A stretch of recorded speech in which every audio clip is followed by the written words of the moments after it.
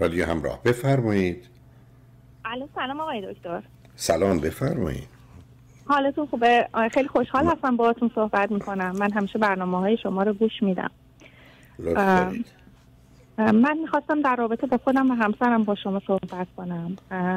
حالا من از این خانواده سه فرزندی میام که من فرزند آخر هستم.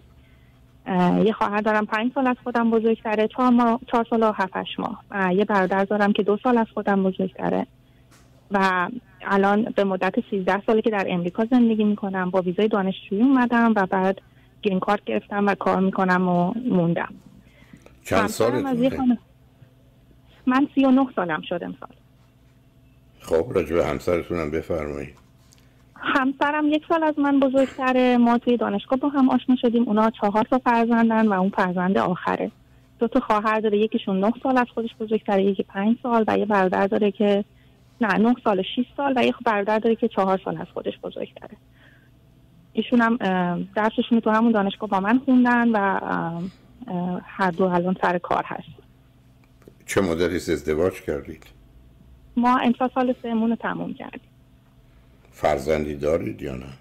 خیر هنوز فرزندی نداریم خب رشته تحصیلیتون هم نزدیک همه؟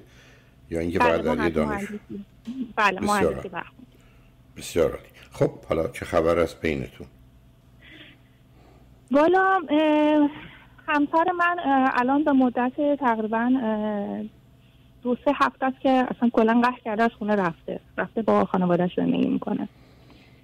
و کلا خیلی قهر می‌کنه با من از وقتی که ازدواج کردیم و سیستممون اینطوریه که من همش باید دنبالش بودم که با هم آشتی کنیم و این دفعه دیگه خسته شدم از بس دنبالش دویدم دیگه نرفتم. و الان تقریبا یه هفته خونه بود که قهر کرده بود رفته بود و الان دو هفته است که اصلا خونه نیومده رفته با خانوادهش داره من.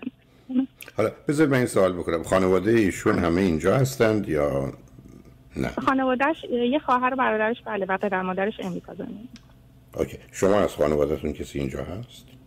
نه من یه خواهر دارم کانادا زندگی می‌کنه. خانواده من اینجا نیست. شما چه مدتی هم دیگه رو میشناختید که تصمیم به ازدواج گرفتید ما از سال 2014 با هم آشنا بودیم. یه دو سال همو date می‌کردیم.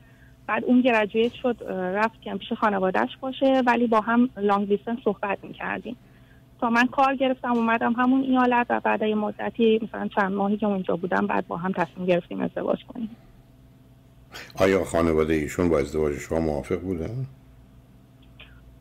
پدرش موافق بود ولی مادرش با هیچ از ازدواج بچه هاش موافق نبودم من فکر می‌کنم با ازدواج منم خیلی موافق نبود نه.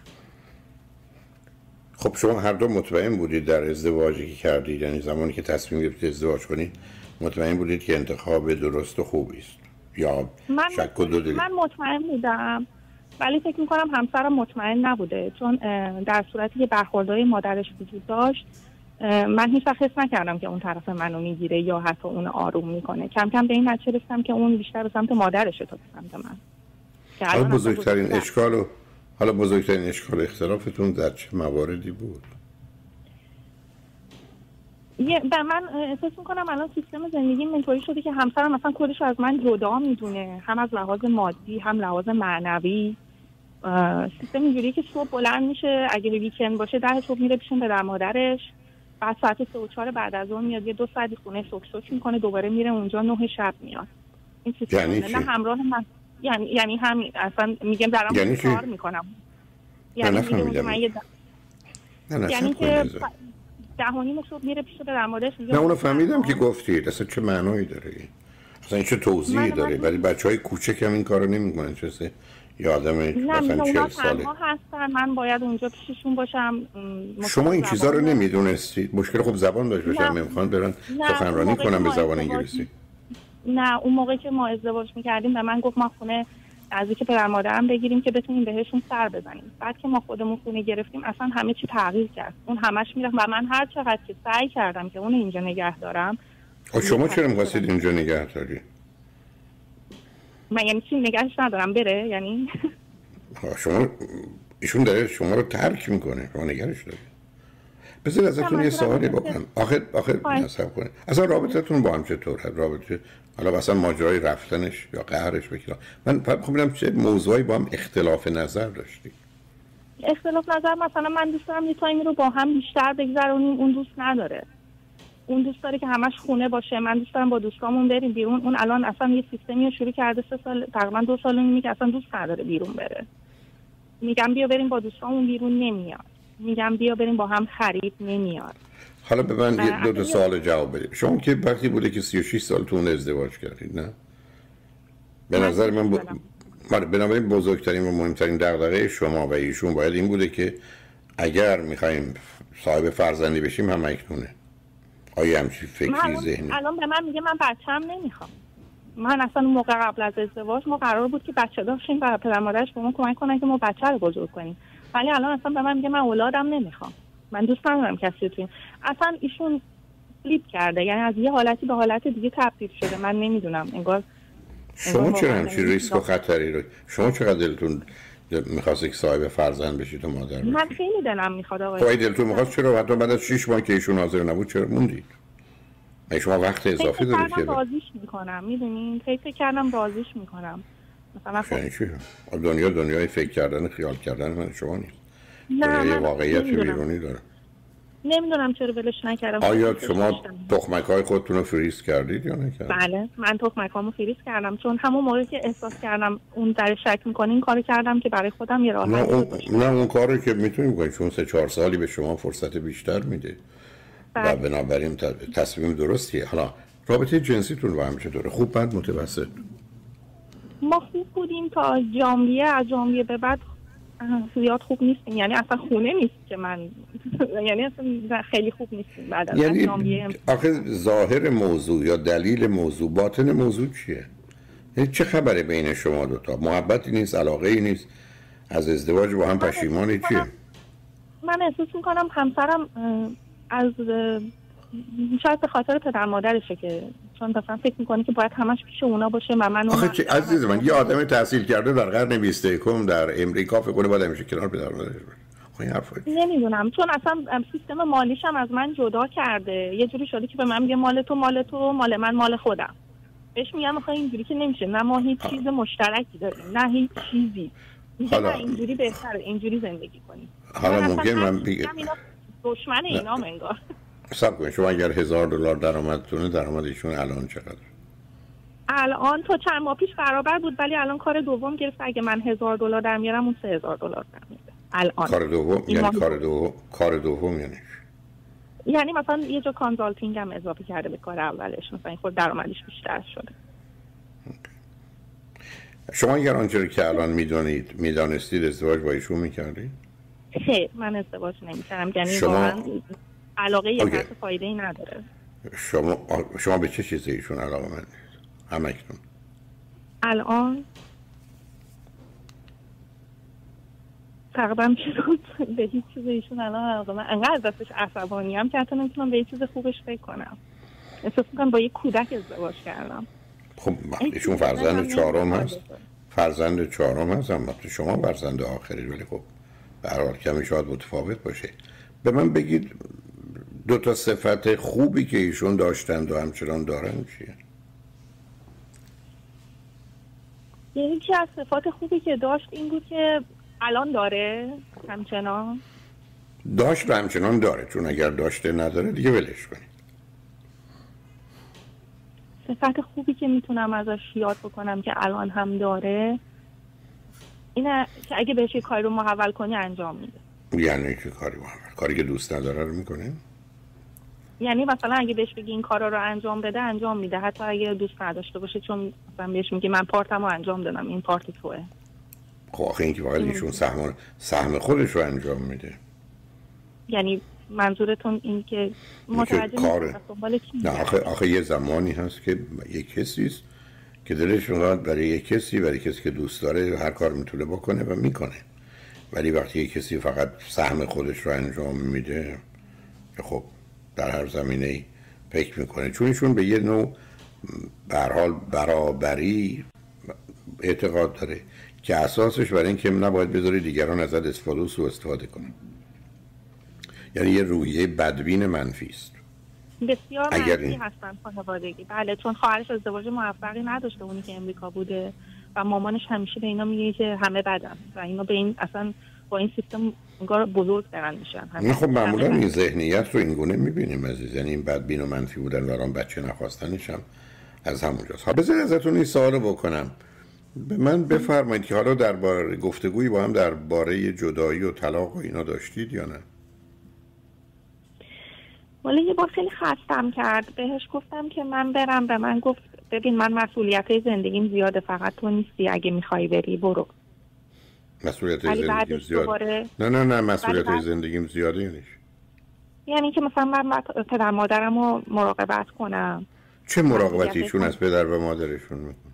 خب پدر مادرش دکتر ببره اگه اتفاقی بیفته اونجا باشه چون اینا زبان نمی‌دونن. اگر اتفاقی بیفته.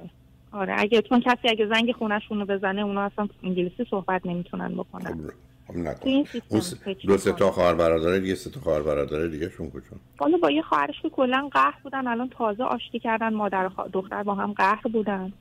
برادرش هم اصلا اهمیت آنچنانی به اینا نمیده. خیلی خودشو اینوالو نمی‌کنه. باز باز اگر اشتباه نکنم یکی دیگه هم هست ولی گفتی چهار تا. آن یکی دیگه شون اینجا امریکا زندگی نمی‌کنه. خارج از امریکا پس خیلی تأثیری نداره. خب حالا خود شما درباره جدایی و طلاق چی فکر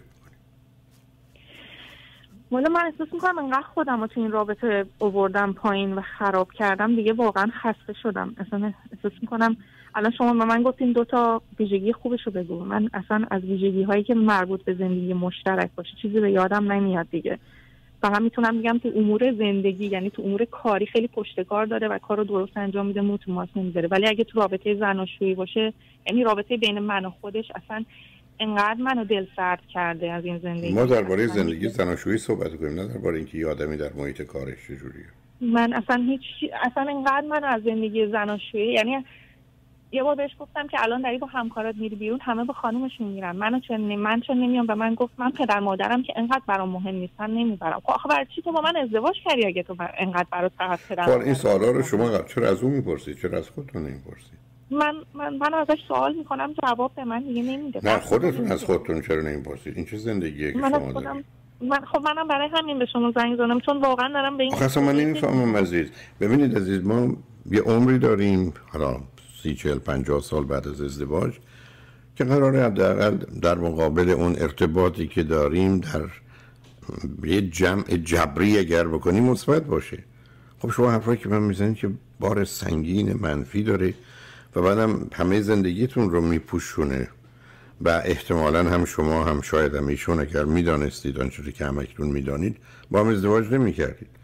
بعدم برای یک کسی مثل شما یکی دو سه سالی فرصت دارید که فرزندی داشته باشید اگر نه برای همیشه این دریچه بسته میشه برای 50 60 سال بعد عمرتون که با خودش معمولا با توجه به شرایط و حرفایی که شما می‌زنید پشیمانی داره.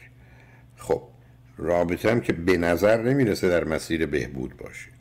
یعنی با گذشت زمان پی با گذشت زمان ما داریم هی بدتر میشیم. خب پس بنابراین آخه, آخه شما حالا مثلا کاری دارم که ببینید اونا رو بهانه نکنید.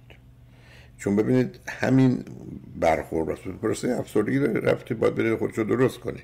به علاوه افسردگی ایشون به شما ارتباطی نداره.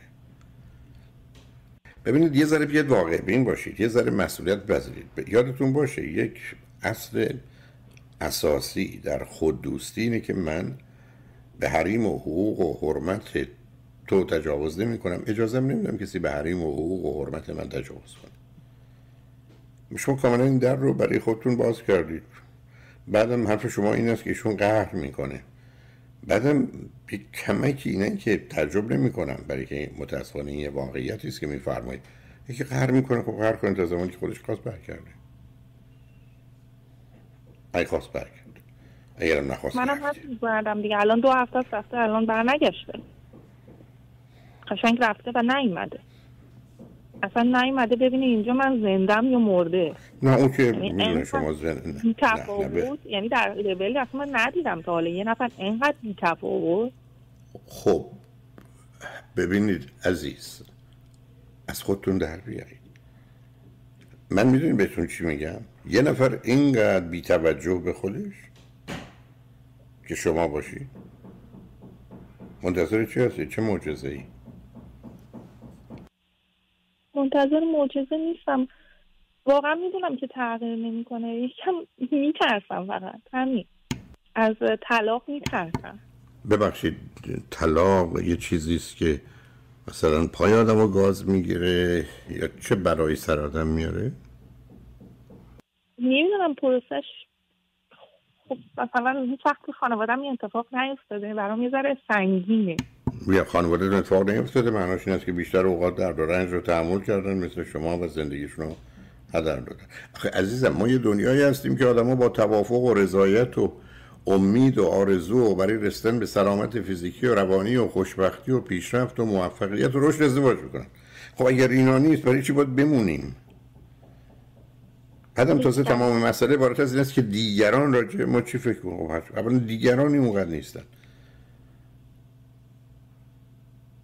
بنابراین خب شما فکر کنید این وضعیت رو ادامه بدید. پنج سال دیگه دو سال دیگه سه پنج سال دیگه بعدا موضوع بچه منتفی است.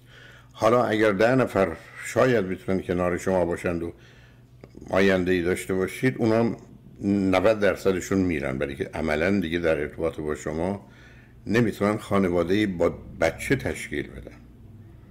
اصلا شما قرار نبوده در این سن و سال با تردید عمل کنی. 26 سالتون بود دادم تازه اونم زیاده. می‌تونست بیاره یکی دو سالی صبر می‌کنم ببینم چی میشه. 36 سال. حالا تا درسم تموم بشه و کار پیدا کنم که بتونم موف کنم نمی‌دونم دیگه کرونا یعنی اومد و همه جا رو بستن و خب بستن شما برحال همیشه آدم زندگی می‌کنن. کرونا باشه نباشه آدم درس داشته باشه نداشته باشه. ببینید اینا بیشتر بازی و بحانه های ذهنیه. نمیگم علیه کسی زره من, من دوست داشتم. آقای دکتر ببخشید وسط حرفتون. اون همش به من می‌گفت نه کار پیدا کنی نه اینو اینجوری کنی. خب هی, هی اون بود. می‌دونی خب مثلا, مثلا نمیگم که نه. نه ببینید عزیز. شما تا شده که ببینید در یه دادگاهی به کسی میگن چرا به کسی چاقو زدی یا کشتیش بگه حسن آقا گفت منم رفتم. بعد بگن حسن آقا رو بیارید ایشون آزاد کنی خب گفت که گفت. یعنی باز نگاه کنید به خودتون ببینید یک کسی به شما حرفی می‌زنه که درست نیست خوب نیست شما دوست ندارید درست نمی‌دونید بعد انجامش می‌دید می‌فهمم چی میگین احساس می‌کنم مثلا اعتماد به نفس منو از من گرفته. اعتماد به نفس من شما نگرفته. اعتماد به نفس شما سر جاشه. حرمت نفسی شما نداشتید چون مسئله به اعتماد نفس مرتبط نیست. معناش این است که شما دو تا باور رو ندارید عزیز. و دو تا عیب رو دارید. دو تا باوری که ندارید که من خوبم و دوم خواستنیه. شما قبول ندارید خوبید و خواستنی و دوست داشتن. دو تا عیبی که دارید این است که از آنچه که هستید و دارید خجالت می‌کشید از زندگی و زنده ها هم میترسید. کاملا پیداست. یعنی مسئله اصلی و اساسی که به سلف استیم و حرمت نفس مرتبطه. بزرگترین مسئله مردم دنیا چی عزیز؟ بزرگترین مسئله مردم دنیا این است که به خاطر کودکی مثلا سه سال اول و بعدا آنچه که در محیط خانه و آموزشی میگذره مردم به این نتیجه می‌رسن که خوب نیستن. و نه تنها خودشون خوب نیستن دیگران هم خوب نیستن. پس بنابراین در یه دنیایی زندگی می‌کنن که من و دیگران همه بدیم و نتیجه روابط ما هم بدی است. و ضمنا خواستنی و دوست داشتنی هم نیستیم. اگر هم کسی بخواد ما رو موقتی است بعدم میره بعدم از سر ناچاری و هر چیز دیگری. خب این دوتا چیز ما رو از پا در میره چه می‌کنه؟ تبدیل می‌کنه به برده تبدیل می‌کنه به بنده به درجات مختلف. حالا او گفت حالا گفت این کارو بکنیم. حالا از این. بعد خجالت می‌کشم از زندگیم. خجالت می‌کشم که تصمیمی بگیرم عاقلانه و واقع بینانه بعدم میترسم که دیگران راجع من چه فکر و خیالی می‌کنن. خب بنابراین در این چارچوب غرق میشم. مطالعات امریکا نشون میده هفتاد درصد مردم امریکا باورشون اینه که خوب نیستند. خواستنی و دوست داشته تازه این مردمی با این همه ادعا تکلیف ما که معلومه. و این یه واقعیت عزیز. در حالی که شمایی که تمام عمرتون نه تنها کار خوب کردید کوشش کردید بهترین کارتون رو بکنید. کی حق داره به شما بگه تو خوب نیستی و بدی؟ ولی شما دارید به خودتون میگید. شما الان تمام حرفایی که من زدید تهش چیز نشسته. که من نه مهمم. خب شاید. خب من اشتباه می‌کنم. من نمی‌فهمم. خب اونا میگن. من میترسم. معلوم نیست چی بشه. حالا من پرسشم از شما اینه که فرض کنید شما جدا بشید چه اتفاقی میفته چه چیزی از زندگی شما الان از دست میره؟ بله من الان عملا جدام. هیچ چیزی فقط در اسباب کشی کنم مثلا خونه رو تغییر بدم خب, خب اون خیلی مشکله. اون اون آره دیگه پس بنابراین فراموشش ببینید؟ من اصلا نمیگم اسباب کشی کنید و طلاق با ایشون با جدی صحبت کنید. یک امروز ازدواج حرفش اینه که همسر شما نفر اوله در مجموع اوله در مقام مقایسه اوله دو این رابطه شما با پدر و مادر رابطه سالمی نیست. و بعدم زندگی ما رو سخت می‌کنه. و سه ما با تکلیفون برای رابطه خودمون و بچه روشن بشه. یا اگر ایشون اونه که شما گفتید بچه نمی‌خواد شما اونجا چیکار می‌کنید؟ من اصلا نمی‌دونم. آدم که بچه نمی‌خواد چرا ازدواج می‌کنه؟ مگه من زورت کردن با من ازدواج کنید روز روزی روزی که این روزی که این حرفا رو می‌زنید به جایی نمی‌رسید. یعنی شما الان ببینید الان مطلبی که شما گفتید یعنی فقط و فقط یه چیزی بگو من یه بازی که تو در میاری رو در بیارم فعلا موضوع بمونه برای بعد. اصلا این چه سوالی که شما می‌کنید؟ یا آدمی مهمش اینه که میگه من بچه نمی‌خوام. اصلا در گذشته گفته من برای بچه میمیرم. حالا میگه نمی‌خوام. شما تصمیم می‌گیرید می‌خواید با این کار کنید؟ با یه همچی آدمی می‌خواید بمونید یا نه؟ به این که ازش پرسم تو چرا قبلا اینو گفتی اونو گفتی؟ چه, چه اهمیتی داره؟ من آدم ها قرار نیست عقیده و نظرشون رو عوض کنن. چرا آدم ها نظراتشون ممکنه خیلی سریع تغییر بکنه؟ خب من بیشتر مشکلم این که هست بعدم که خیلی تحت تاثیر مادرشه تا مامانش دعواش بکنه میترسه. نمی‌دونم مثلا تا حالا مرد چل ساله اینجوری نبودم خودم هم برادر دارم هم شوهر خواهر. خب منم البته دختر 39 ساله تحصیل کرده کم دیده بودم. که اینجوری حرفها بزنه. ببینید نمی‌خوام اذیتتون کنم. نه نه من فکر کردم با فکر کردنی ما در دنیای خیال و فکر کار نمی کنیم عزیز. نمی‌خوام یادآور بشم. من الان بیست و چهار سال و نیم رو خط رادیو تلویزیون هستم با چهل هزار نفر صحبت کردم. همیشه گفتم یه دلیل و فقط یه دلیل برای همین کار منه درک واقعیت. درک واقعیت یعنی خیال نکن فکر نکن تصور نکن. امیدوار به اون صورت. اصل واقعیت. واقعیت رو ببین بعد حالا هر چی دلت بخواد برو دنبالش. من حرفی ندارم. و شما واقعیت, رو نادیده گرفتی. واقعیت این است که این رابطه این رابطه رابطه مبتنی بر مهر و محبت و دوستی و صمیمیت و رشد و پیشرفت و شادی و لذت و رضایت نیست. ای هست؟ یا اگر میشه اینجا رسوندش بکنیم؟ اگر نیست. نه دیگه نیست. اصلا دیگه با مخصوصا از وقتی که وضع مالیش خیلی بهتر شده اصلا دیگه هی میگه من بالام تو پایینی نمی‌دونم. ما ما من و تو که من و تو نداریم. ما ماییم. منتها منو با خودش توی تیم نمی‌بینه. همش خودش رو با مثلا با پدر مادر خودش توی تیم می‌بینه. همش میگه من بالام تو پایینی. اصلا مثلا یه چیزایی میگه آدم نمی‌دونه چی جواب اینو بده. اصلا قرار نیست جواب بده. پاسخ علمیش رو می‌دونیم. پاسخ علمیش اینه که همه دنیا دنیای معامله است. من به شما 100 دلار میدم 70 دلار کالا می‌خرم 30 دلارمو بدید تنها رابطه میان انسانهایی که محبت و مهر و عشق و دوستیه مبتنی بر مبادله است. من هر چی دارم میدم که صد تاست. شما دو واحد دارید می‌دید که دو تاست. ولی ما با هم مساوی. من نه از تو بهترم نه بدترم نه بالاترم نه پایینترم. من منم تو تویی. من صد واحد دارم تو دو واحد. تو محبت چه همیتی داره؟ بنابراین روزی که یه زنی یا یه شوهری برگشت گفت پول من پول تو کارتون تمومه. یعنی ما آمدیم تو دنیای معامله. تجارت حساب کتاب داره به همین که در گذشته اینجوری که می‌شد به زن دوم می‌گیره بعد حق داشت خب که زنش رو کتکم بزنه. حق داشت که نمی‌دونم اون رو از خونم بیرون بکنه. یه جورایی من الان زن دو هم هستم چون اون زن اولش مامانشه. با دو بر خب، مامانش این کارو بکنه مامانش اونجوری کنه.